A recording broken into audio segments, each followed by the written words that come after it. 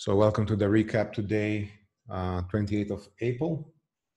This morning we had um, two gaps up, uh, Y10, sorry, uh, BWEN, TROV, gap down, Y10.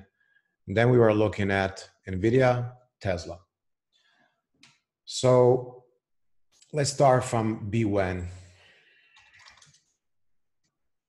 BWEN at a decent gap uh, from uh, 150 up to 340. Um, we had pre-market trend line break. So when we had this trend line break, I started shorting over here, this level. And I wanted to see some more unwind until the J lines, but I was not enough discipline, I think.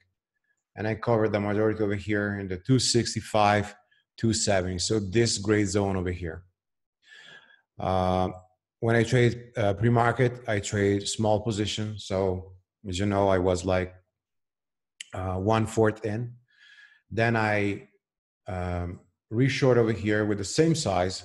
So this level over here, because we saw in this moment at this 240 a huge amount of sellers.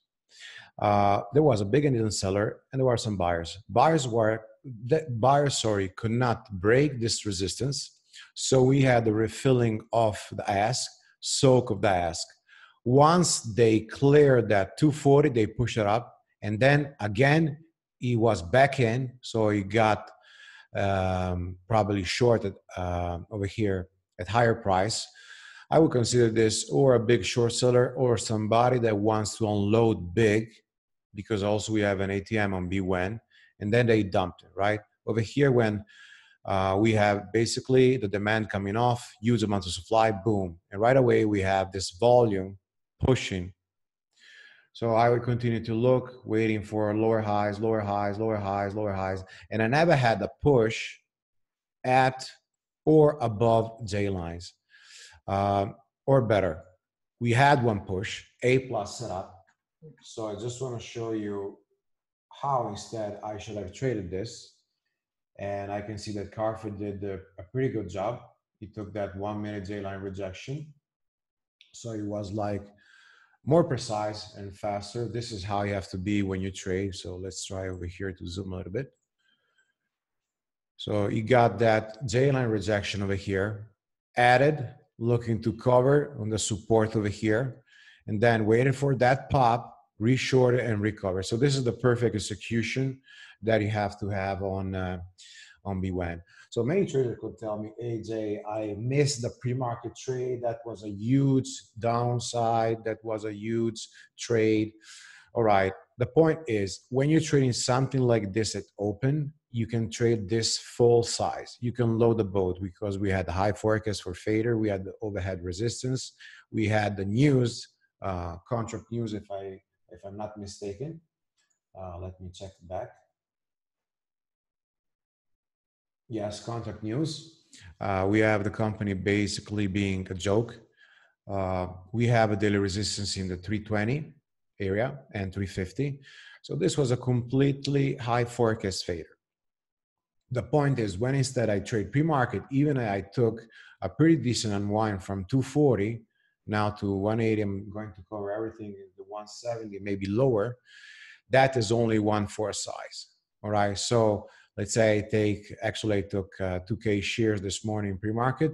I show my my trade, and then I reshorted. But over here at open, I would trade between eight or 10k shares for uh, something like 2k two two dollar trade. So this is a pretty good unwind over here, and I'm waiting for that 170 160 to cover everything. Uh, we also had Trov, um, big miss for me. Uh, this sad I will explain over here. So we have ongoing phase uh, trials. When we have this news, the majority of this news is always a fader, uh, around 85% of my tracking.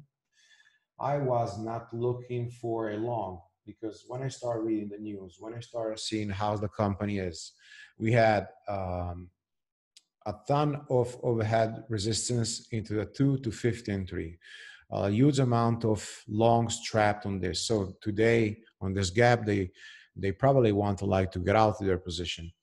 And then we had the history of um, fading, and a history of dilution.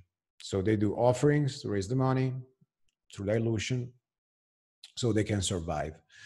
Uh, the company is a joke, as I said. It's a completely joke. All right. Uh, when we had this push, I missed the 190 already. I was a little bit pissed because I missed this uh, this first trade. Uh, then we had the second lower high. You can see push lower high. So this is a trend line break.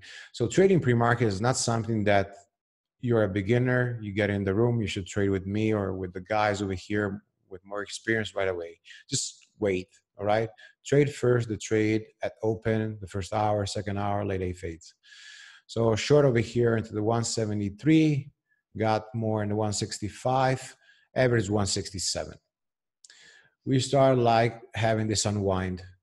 So the first cover has to be this 140. I had a small position, all right, small position over here. So I didn't cover myself, but if you're in with a bigger position, one third, one fourth, get out over here. Sorry, get out over here, uh, one third or half of your position. If then starts curling up, get out everything because you want to be actually at the open, almost empty of your shares. Right? You want that possibility that if this pushes back up, you trade over there. So when we had this push, look, we had a lower high then we started having higher low. So what is an higher low? You see this is a first relative low. This is the second relative low. And then this is a third relative low. So the trend is uptrending over here.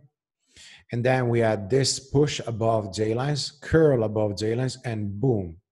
This is your explosion of volume, 800K per minute over here. So above this level, above the 150, we have all the shorts that trigger stop loss.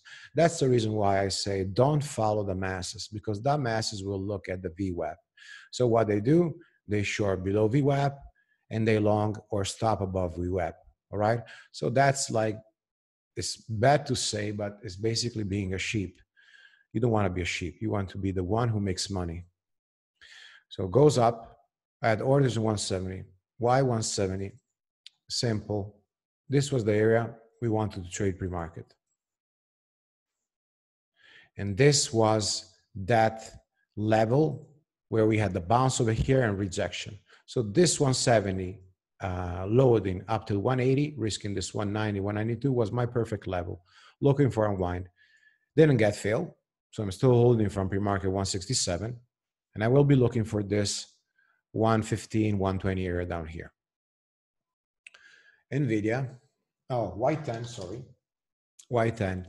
So gap down day two, push over here, missed the fill 710.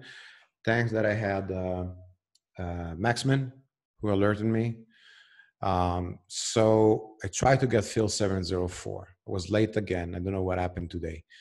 Uh, got fill at 696, 697, covered um, everything in the 650s and 660s, this over here. We had another pop, so you could reshort over here. I don't like to do this, so I then get the second move. This is a gap down play. Same thing on the XRT. I saw, uh, I think Yossi taking this. So gap pop over here, but right away stops it open above three minute J lines, reason to short over here, and then you take that unwind. NVIDIA, now comes the fun. So my plan was to go long this morning. Long means looking for under over, looking for that uh, curl up with a one minute J lines. The only thing I said, be aware that this 304, 305 can act as resistance. When I started seeing the SPY not having strength, I knew that NVIDIA and Tesla uh, wouldn't have the strength itself. So this is, um, sorry, a push, came down, then closed above. And then we had another push. And I didn't get long over here because we already rejected this level. So we went down and then rejection one minute J lines. So no trade over here. You basically want to see this bar over here coming back down, this pushing without this big spike or a curl. Tesla the same. Tesla had resistance into the 805. So what happens over here? Dips right away, push to that resistance 805 and rejects. So I know that this second bar, first of all, is pretty far from the J lines. Second, is far from our pre-market, and we already reject this pre-market. So we know that this level is 805. They're already sellers.